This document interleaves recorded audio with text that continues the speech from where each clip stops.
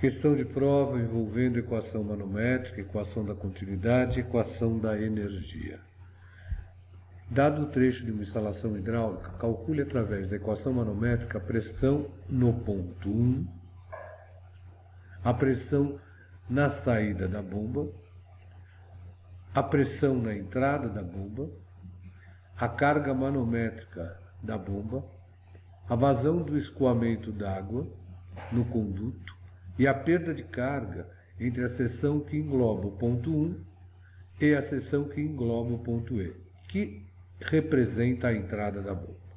Dados: peso específico da água 9.800 N por metro cúbico, viscosidade cinemática da água 10 a menos 6 metros quadrados por segundo, peso específico do fluido manométrico igual a 128.348 N por metro cúbico, pressão em 2 30 mil pascal, área da seção 1, 10 a menos 2 metros quadrados, área da seção 2, 6, 10 a menos 3 metros quadrados, aceleração da gravidade igual a 9,8 metros por segundo ao quadrado, perda de carga de 2 AE igual a 1,758 metros, PM, pressão manométrica, igual a 132 mais A vezes 10 kPa, Potência útil da bomba igual a 529 mais A vezes 10 watts, onde A é o seu último número do RA. Vou apresentar a solução para o final 3.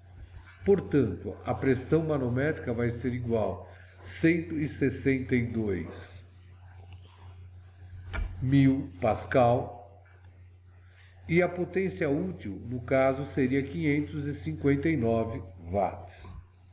Vou iniciar aplicando a equação manométrica de 1 para 2 com origem em 1. A partir daí eu me pergunto qual a pressão que atua no ponto 1. P1. Vou descer esta coluna, então estaria somando gama vezes esse, essa altura, só que eu vou subir a mesma altura, o que significa que eu vou subtraí-la. Então uma anula a outra. Vou descer 0,93 do gama da água, então mais 0,93 vezes o gama da água. Vou descer esta coluna do fluido manométrico, mas subo a mesma coluna, então uma anula a outra. Vou subir 0,93 vezes o peso específico do fluido manométrico, então quando eu subo é negativo, então menos 0,93 vezes o gama M, e chego no ponto 2, então igualo com a pressão que atua no ponto 2, P2. Ora, nós conhecemos o peso específico da água, conhecemos o peso específico do fluido manométrico e conhecemos P2. Então podemos facilmente determinar P1.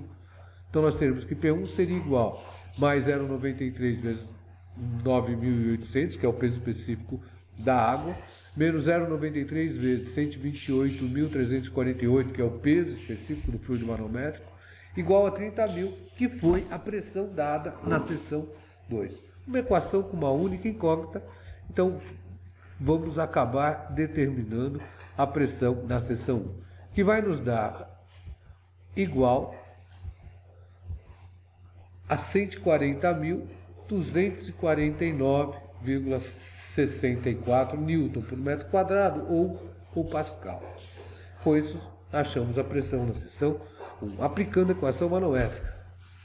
Espero que tenha dado para recordar. Uma origem marco a pressão na origem, quando eu desço eu somo, quando eu subo eu subtraio, quando eu vou na horizontal eu simplesmente anulo. E a expressão eu igualo no final com a pressão do ponto que não foi adotado como origem. Agora nós vamos aplicar a equação da energia de 2 a E com o plano horizontal de referência adotado no eixo. Então nós adotamos o PHR aqui no, no eixo. Então nós vamos ficar com carga total em 2 igual a carga total em E mais a perda de 2 a, a E, ou seja, carga potencial de posição em 2 mais carga de pressão em 2 mais carga cinética em 2 igual a carga potencial em E mais a carga de pressão em E mais a carga cinética em E mais a perda de 2 a E. Ora, o Z2 e o Z são zero. Por quê? Porque pertencem ao plano horizontal de referência. A pressão em 2 foi dada, 30 mil. O peso específico do fluido que está escoando é 9.800. O Z2 é zero, a pressão P é o que eu quero achar. Só que a velocidade em 2 e a velocidade em E são iguais. Por quê? Porque eu tenho a mesma área. Nós sabemos que a vazão é velocidade média vezes a área. Se a vazão é constante e a área é constante, logicamente as velocidades vão ser constantes. Então eu terei V2 se anulando com a velocidade em E. A partir daí eu caio numa equação com uma única incógnita também, que seria a pressão P, já que nós conhecemos a perda de carga de 2 a E, que foi dada 1,758 metros. A partir daí tiramos a pressão na entrada da bomba igual 12.771,6 Newton por metro quadrado ou Pascal. Agora nós vamos fazer a equação manométrica do centro do manômetro até a seção S. Lembrando que a pressão manométrica é a pressão que entra, menos a pressão externa. Pressão manométrica é sinônimo de pressão na escala efetiva. Então, a pressão externa, sendo a pressão atmosférica, ela vale zero. Portanto, a pressão que eu estou lendo aqui seria a pressão do ar que eu tenho aqui dentro. Lembre, faça uma analogia com você calibrando o pneu do seu carro, da sua moto, da sua bicicleta.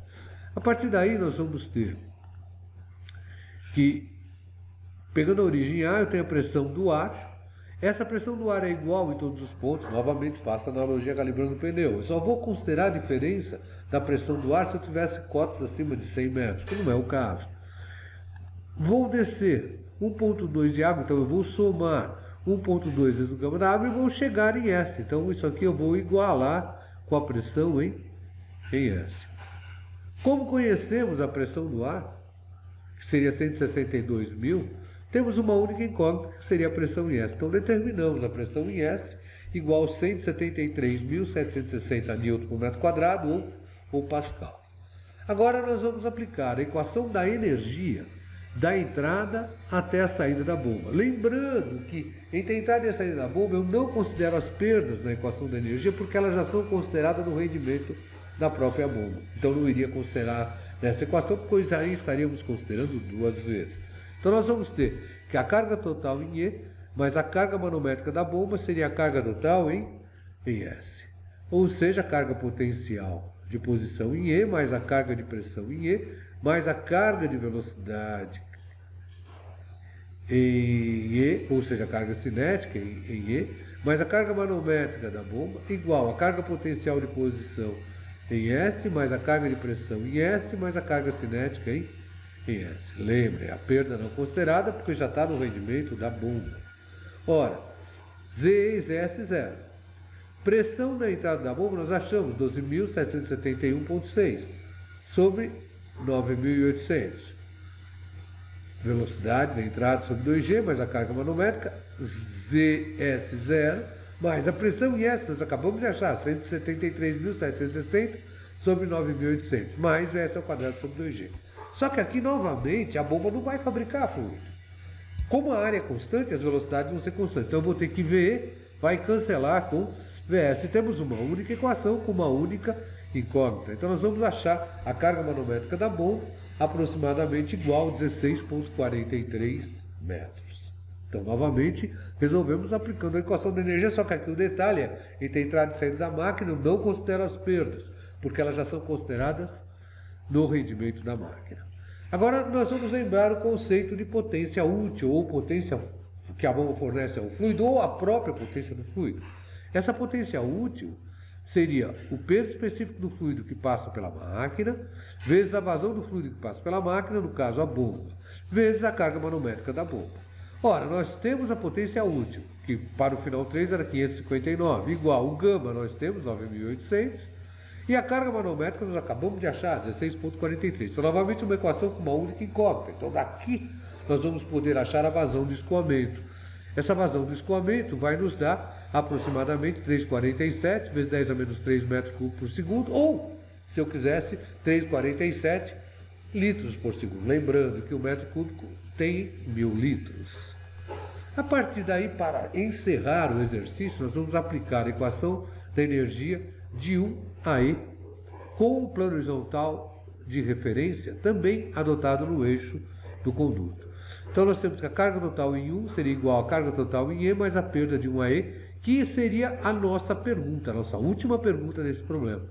Carga potencial de posição em 1, mais a carga de pressão em 1, mais a carga cinética em 1, igual a carga potencial de posição em E, mais a carga de pressão em E, mais a carga cinética em E, mais a perda de 1 até E. Ora, Z1 é 0, Z2 é 0. Só que aqui eu tenho velocidades diferentes. Por quê? Porque as áreas são diferentes. A vazão é a mesma, mas as áreas sendo diferentes, eu teria velocidade diferente. Então a velocidade em 1 seria a vazão dividido pela área A1. Vazão que nós achamos, 3,47, 10 a menos 3, dividido pela área 1, 10 a menos 2. Que vai nos dar uma velocidade média igual a 0,347 metros por segundo. Maneira análoga, achamos a velocidade na seção 2. Vazão sobre a área 2, 3,47, 10 a menos 3, dividido por 6, 10 a menos 3. Zé, a, que vai nos dar uma velocidade média de 0,578 metros por segundo. Substituindo os valores, nós teríamos Z1 0 mais P1 que nós achamos, 140.249,64, dividido por 9.800, mais a velocidade em 1 que nós achamos, 0,347 ao quadrado sobre 2 vezes 9,8, adotamos desaceleração da gravidade igual 9,8, igual Z E0, mais a pressão em E que nós achamos também, 12.771,6 sobre 9.800, mais a velocidade média 0,578 ao quadrado sobre 2 vezes 9,8, mais a perda de 1AE, que é a nossa incógnita. Uma equação só com esta incógnita. Então, daqui nós achamos a perda de carga de 1AE aproximadamente igual a 13 metros. É isso aí, moçada. Eu espero que esse material lhe ajude a estudar. Qualquer dúvida, entre em contato no raimundo.ignacio.escoladavida.eng.br. E se esse material lhe, for, lhe foi útil, não esqueça de clicar lá no joinha e se inscrever no canal Alemão MacFlu Resolve. Dessa maneira você me ajuda a dar continuidade a esse projeto. Bons estudos!